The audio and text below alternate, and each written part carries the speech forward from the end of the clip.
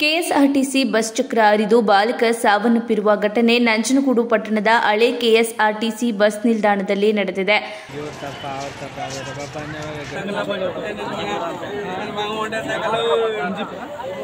ಹದಿನಾಲ್ಕು ವರ್ಷದ ಪ್ರಜ್ವಲ್ ಮೃತ ಬಾಲಕನಾಗಿದ್ದಾನೆ. ನಂಜನಗೂಡು ಉಲ್ಲಹಳ್ಳಿ ಅಂಪಾಪುರಕ್ಕೆ ಹೋಗುವ ಸಾರಿಗೆ ಬಸ್ ಇದಾಗಿದ್ದು, ನಂಜಿಪುರ ಗ್ರಾಮದ ಪ್ರಕಾಶ್ ಮತ್ತು ಪುತ್ರ ಪ್ರಜ್ವಲ್ ಇಬ್ಬರು ಗ್ರಾಮಕ್ಕೆ ತೆರಳುವ ವೇಳೆ ಈ ದುರ್ಘಟನೆ ನಡೆದಿದೆ.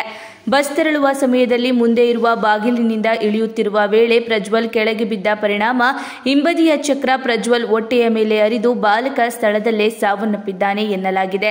ವಿಷಯ ತಿಳಿದು ಸ್ಥಳಕ್ಕೆ ನಂಜನಗೂಡು ಸಂಚಾರಿ ಪೊಲೀಸ್ ಠಾಣೆಯ ಪಿಎಸ್ಐ ಯಾಸ್ಮಿನ್ ತಾಜ್ ಭೇಟಿ ನೀಡಿ ಪರಿಶೀಲನೆ ನಡೆಸಿದ್ದು, ಬಸ್ ಚಾಲಕನನ್ನ ತರಾಟೆಗೆ ತೆಗೆದುಕೊಂಡಿದ್ದಾರೆ ಕೂಡಲೇ ಆಂಬ್ಯುಲೆನ್ಸ್ಗೆ ಕರೆ ಮಾಡಿದರೂ ಬಾರದೆ ಆಂಬ್ಯುಲೆನ್ಸ್ಗಾಗಿಯೇ ಸುಮಾರು ಒಂದು ಗಂಟೆಗೂ ಹೆಚ್ಚು ಕಾಲ ಕಾದು ಕುಳಿತ ದೃಶ್ಯ ಕಂಡುಬಂದಿದೆ. ಮೃತ ಬಾಲಕನ ತಂದೆಯ ಆಕ್ರತನ ಮುಗಿಲು ಮುಟ್ಟಿತ್ತು.